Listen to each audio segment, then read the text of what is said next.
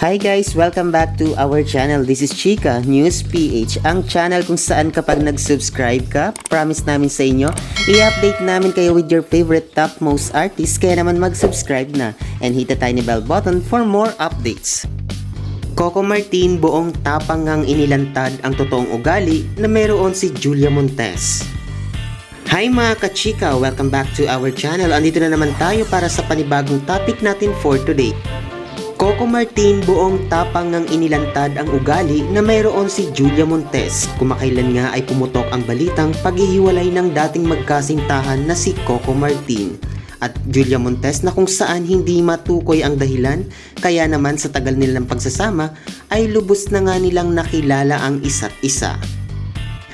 Kaya naman sa pananahimik ni Julia Montes nagsalita na si Coco Martin sa ugali na mayroon ito at ayon sa kanya Si Julia Montes ay mabait at maayos din ito kasama or katrabaho lalong lalo na pagdating sa trabaho ay ito ay napaka-professional. Kaya naman hindi maiwasan ng mahulog ang loob nito kay Julia Montes noon at mayroon pang ang balitang nabuntis ni Coco Martin si Julia Montes at nagkaroon ito ng anak pero hindi ito pinatotohanan ng dalawa.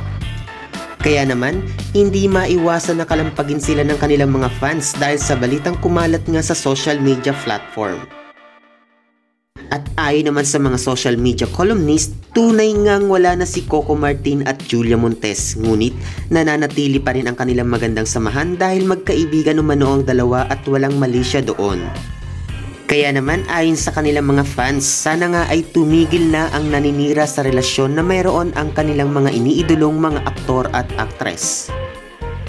Kaya naman ayon sa mga Kokoyas fans, mabuting balita ito dahil kahit papano ay maluwag na at tinanggap na ni Julia Montes na wala na nga sila ni Coco Martin. At walang sama nga ng loob kaya naman halos mag-celebrate ang kanilang mga fans dahil sa balitang ito. Anong masasabi mo rito mga kachika? I-comment mo na ang inyong opinion dahil bawat opinion nyo ay napaka-importante nito para sa amin.